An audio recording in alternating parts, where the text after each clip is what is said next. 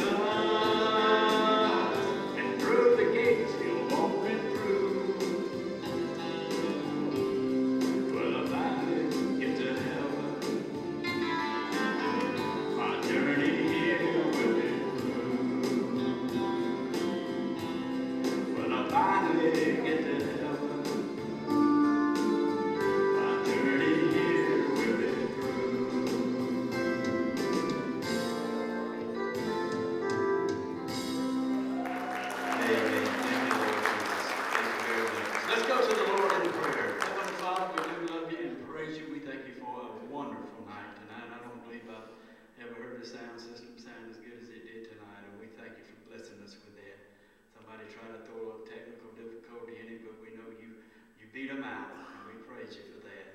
I thank you for each and every person that's here tonight, starting off this new year in song and praising you, Lord. And I just pray that everybody here tonight will be able to be with us next month as, as we come back and do this again. You be with them as they drive home and make sure that they all get to their churches in the morning and their Sunday schools. And we just ask you today just uh, to bless them all and let them be a light for you. Jesus' name I pray. Amen. All right, thank you very much. We'll bring it down. See y'all next month.